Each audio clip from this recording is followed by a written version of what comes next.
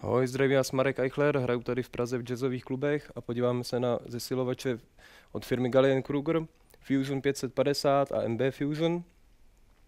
Eh, jsou to první zesilovače od firmy Galien Kruger s lampovým předzesilovačem.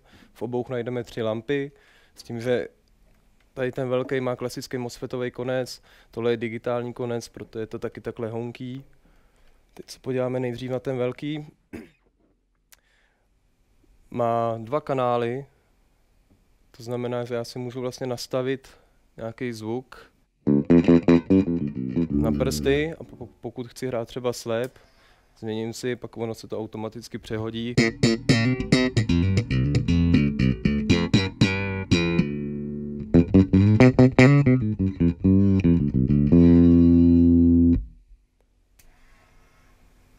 Naopak.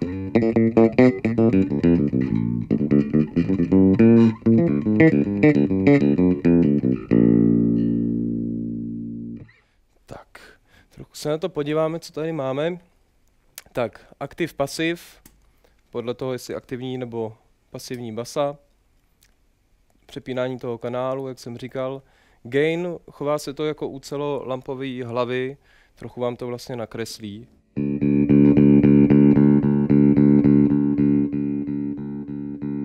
Jdeme dál, máme tady kontur, vyřezávám vlastně středy, kde můžeme si ještě přepnout 800 Hz a 500 Hz. Dále máme extra bright a extra deep, pokud chceme zvýraznit výšky, anebo naopak basy. Klasická ekvalizace, výšky, vysoký středy, nízký středy, basy, horna, pokud máte bednu Galien Kruger, máte k tomu extra kabel, můžete si pak ovládat tady tím knoflíkem extra tu hornu, master volume, tady máme mute, ale nám to krásně bliká, nic nehraje, můžeme se naladit v pohodě. Ještě si trochu asi zahrajem. Přepneme kanál.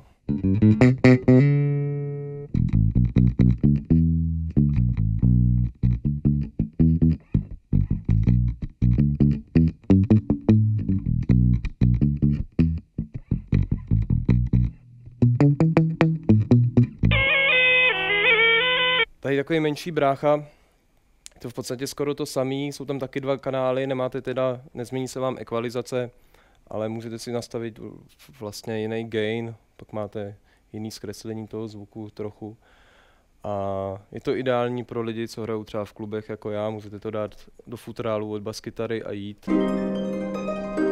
Tak pokud se podíváme na zadní panel, vidíme zemění, direct out pro zvukaře, ekvalizace, food switch, ladička, efektová smyčka.